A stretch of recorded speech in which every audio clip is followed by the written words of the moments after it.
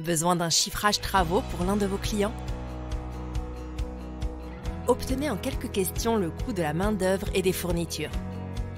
Embellissement intérieur et extérieur ou rénovation énergétique, testons avec vous l'un de nos simulateurs. C'est parti pour une estimation de rénovation de salle de bain. Étape 1.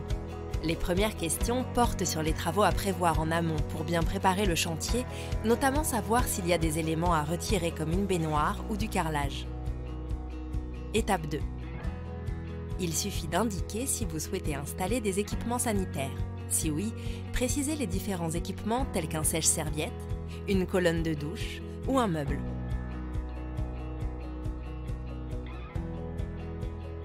À chaque fois que vous répondez à une question, les prix de la main-d'œuvre et des fournitures s'ajustent en temps réel et vous pouvez aussi moduler le financement de votre projet en jouant sur la durée et l'apport.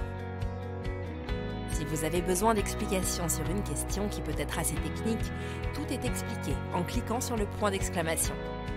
Étape 3. Indiquez ensuite si vous avez du carrelage à poser au sol et ou sur les murs. Si oui, précisez s'il y a des murs et des sols abîmés ou il faut intervenir avant la pose. S'il y a de l'étanchéité à prévoir ou uniquement de la pose de carrelage au mur ou au sol. Si vous avez besoin de calculer la surface au sol ou un mur, comme c'est le cas ici, vous disposez de calculettes pratiques pour vous aider à déterminer des surfaces ou des volumes. Étape 4 et dernière étape. Indiquez s'il y a de la peinture à prévoir sur les murs, le plafond ou la porte intérieure. Si oui, précisez les surfaces à peindre. Votre estimation est terminée. Il ne reste plus qu'à donner un titre à votre simulation. Vous obtenez alors un récapitulatif complet du projet avec le coût de la main-d'œuvre et des fournitures.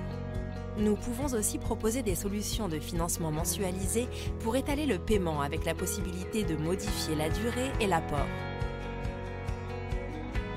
Vous pouvez télécharger le devis de votre client ou lui partager directement.